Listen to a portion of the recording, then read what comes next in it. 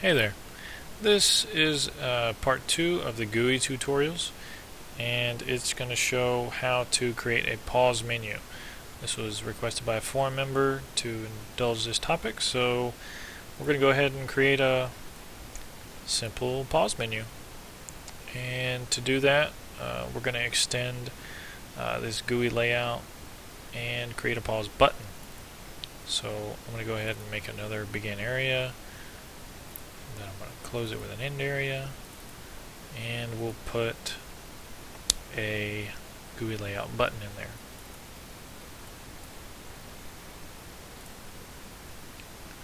Let's bring this down right there, make it a little less wide.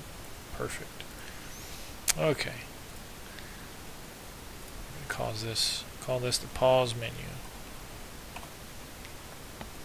Okay.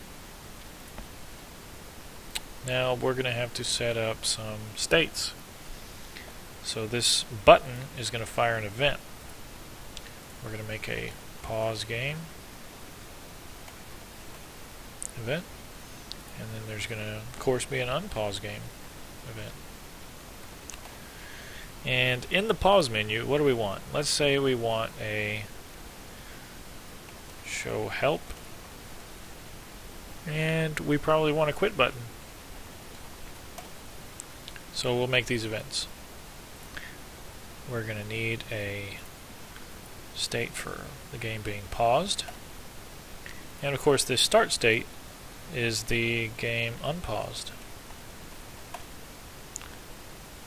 Now from the pause state we could do health, or help, help menu, and we could quit the game.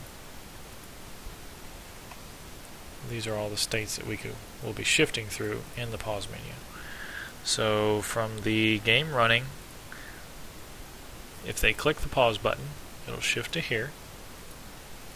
Then if they click the quit button, it'll go to here. And if they click the help button, it'll go to here. Okay. Now, in this state, we have the button send the event to pause the game and that'll transition to here. So let's go ahead and copy this. And since we're using a GUI layout like this, it stacks nicely with these buttons that we're going to add. So in the paused state, this button is going to turn into the unpause button.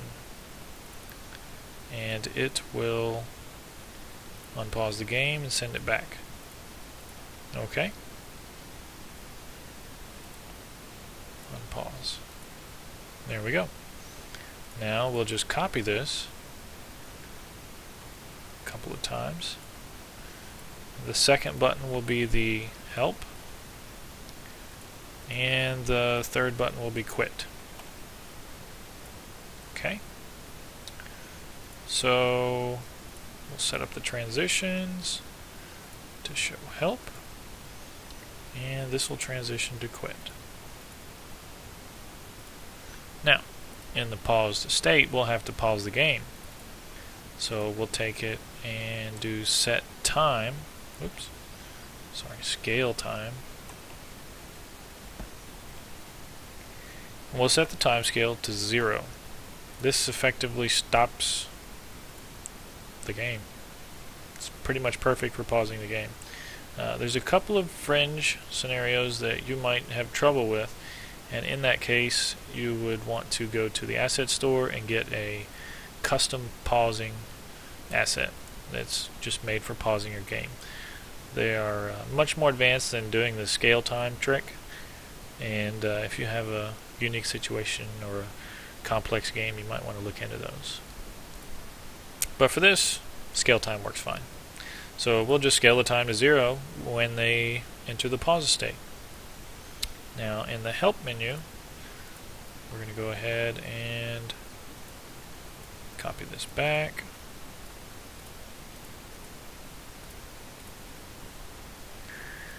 And I don't think we need all these. Let's just have an unpause button. Just keep things simple. Send it back to here. Yep. And then the quit button will be quit application. Okay. Now, if they hit the unpause button, it's going to go back to this state. So obviously in this state, we're going to have to set the time scale to 1. Right? Okay. Let's see how this works. So here we are playing our game, and there's this majestic, magical smoke coming out of this mysterious box. And to the north, there's a secret door, and there's a pause menu. We hit the pause, and it stops the game. Scale time has gone to zero, and all of this scene has ceased to no time as it is. But we have this cool menu, and we can click the help button to go to the help menu where there is absolutely no help whatsoever, and we can unpause the game. Now we're back to normal.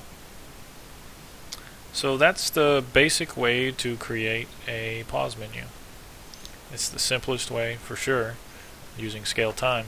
And as I said before, if you run into problems with that, then you can always go to the asset store. There's some great assets available for that. Um, but that's that's about it. Just use scale time uh, and choreograph it with your buttons through these events, and you should have a pretty cool pause menu. So, hope that answers your question and helps. Uh, have fun with it.